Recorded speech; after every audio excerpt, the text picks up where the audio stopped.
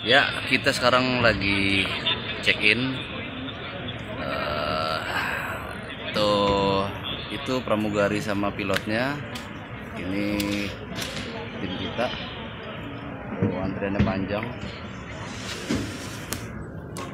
Nanti kita habis ini mau ke imigrasi. Oke.